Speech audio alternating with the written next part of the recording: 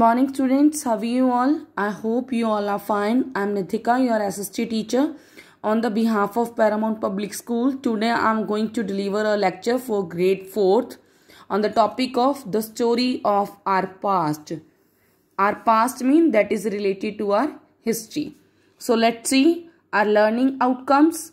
By the end of this lesson you will be able to explain why we study history first you definitely explain that why we study history हम history क्यों पढ़ते हैं after that you differentiate between ancient medieval and the modern period of the history so now here two pictures are there one is black and white picture and second is the colored picture so now get going both the pictures given above show little girls playing as you know about it little girls are playing. However, the one on the left was taken around 100 years ago. That picture is taken 100 year ago. Mean ये 100 साल पहले ली हुई picture है. While the picture on the right was taken recently. ये अभी की ली हुई picture है. If I compare both the pictures, then there is similarity as well as difference also. What is the difference between it? The difference is that is black and white picture, that is colored picture. The quantity of girls is amount of huge, the less girls are here. And if I'm talking about similarities, their dressing sense, their hairs, their playing habit are same. These pictures show us how things change over time and yet how in some ways they remain same. किस तरीके से चीज़ें change होती हैं और कुछ चीज़ें उसी तरीके से सेम रहती हैं। They thus help us understand how our past is related to our present how our past to related to our present किस तरीके से जो हमारा पास्ट है वो रिलेट करता है हमारे प्रेजेंट के साथ। Have you ever asked your parents what they were like as children जब वो बच्चे थे तो वो क्या करते थे? आप हमेशा अपने पेरेंट्स से पूछते हो। Have you ever wondered what games they play आप हमेशा ये पूछते हो, चाहते हो कि वो कौन से गेम्स खेलते थे? वट बुक्स दे रीड कौन सी बुक्स वो पढ़ते थे? What they did during the vacations it mean वो हॉलीडेज में क्या करते थे? Were they very different from the games you play और the books you read today क्या जो बुक्स वो पढ़ते थे, जो गेम्स वो खेलते थे, वो डिफरेंट थी? मीन उनकी और आपकी if we compare both the things it is this desire desire इच्छा to know about what happen in the past that leads a study history ये सारी चीज़ें हमें फोर्स करती हैं हिस्ट्री पढ़ने के लिए. Okay so now first concept is what is history history is a written account, यह एक रिटर्न फॉर्म में होती है। For example this is a written account of people, places and events of the past. People, लोग, places, जगह, events, कोई भी चीज़ हुई है, of the past.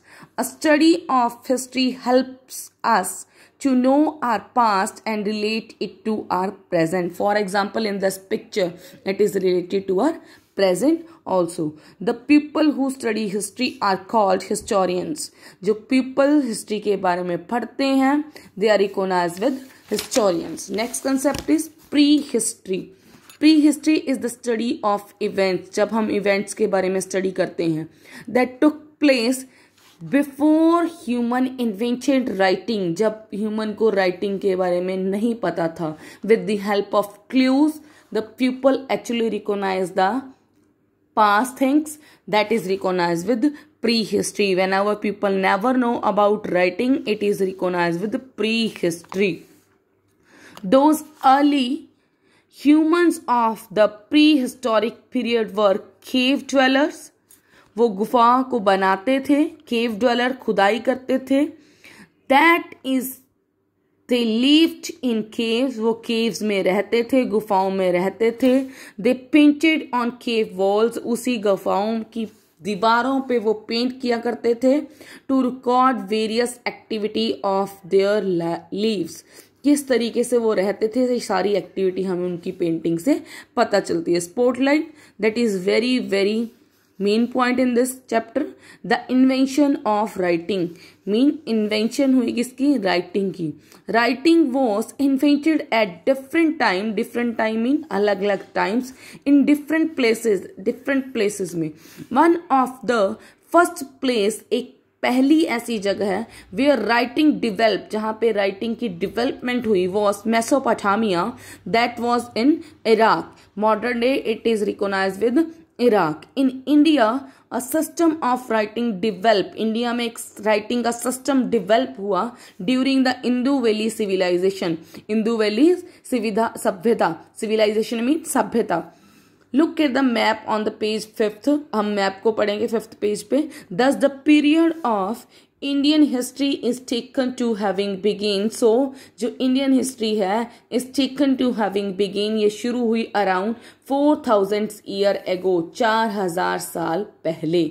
So now come on these pictures these pictures are there this is this is your activity 2 this is a painting discovered on the walls of cave in Bhimtika.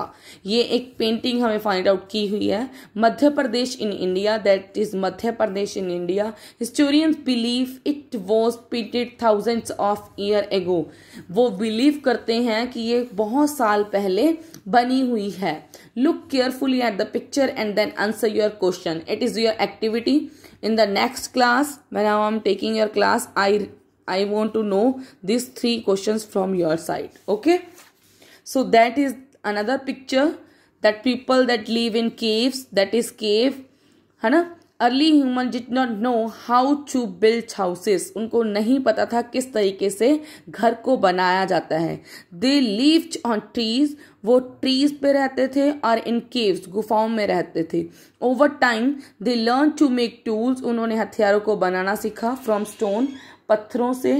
And to make fire और आग को बनाना सीखा so that is museum that is in new Delhi a museum is a place where we have to keep the past things very carefully inside view of the national museum that is national museum that is in new delhi a museum is a place where things belonging to the past are kept carefully जो चीज़ें हैं that things that are related to our past and kept carefully okay why should we study history हम history को why should चाहिए क्यों पढ़ना चाहिए what why do we need to learn about what happened so many years ago हम ये क्यों पढ़ते हैं हिस्ट्री को कि क्यों जानना चाहते हैं कि बहुत साल पहले क्या हुआ let us look at this example इस एग्ज़ाम्पल को हम पढ़ते हैं। फोर हंड्रेड ईयर्स एगो चार सौ साल पहले India was ruled by as you know about it India was ruled by Mughals तो वहाँ पे मुगलों का राज था। एट देयर पावर डिक्रीज जब उनकी पावर डिक्रीज होनी शुरू हुई और बहुत स्मॉल किंगडम्स में वो डिवाइड होनी शुरू हुई the rulers ruler be the king of this kingdom were busy fighting among themselves वो आपस में ही लड़ाइयाँ करने में बिज़ी हो गए। The British came to India then British India में आए at this time as trader trader mean व्यापारियों के रूप में। वेन दे सो जब उन्होंने देखा कि इंडिया में जो लैंड है, जो इंडिया की लैंड है, वो बहुत ही ज़्यादा रिच है वेल्थ है इसके पास दे बिकेम ग्रीडी वो क्रीडी हो गए इस चीज़ को पाने के लिए। They wanted to rule India वो चाहते थे कि इंडिया पे अपना राज्य करें रूल करें। So they use most probably but they use उन्होंने इंडियन पीपल पे अटैक करने शुरू कर दिए। फ्यू ईयर्स में ही उन्होंने इंडिया को क्या कर लिया? कैप्चर कर लिया, अपने कब्जे में ले लिया। If the Indian rulers had been united अगर वो इकट्ठे होते the British would probably never have been able to rule us अगर हम यूनाइटेड होते इकट्ठे होते तो ब्रिटिश पीपल हम पे राज्य नहीं कर पाते gradually the people of India came together to the fight for their independence from the British and eventually won their freedom जब लोग whenever we want freedom then the indian people are together. That's where we won their freedom. But this incident from the past has taught the indians an important lesson. Which one lesson? The lesson the need to be united. hame ikatthe rehna chahiye so that is your first part. Hope all the concepts is clear to you. Next concept i will teach you tomorrow. Thank you.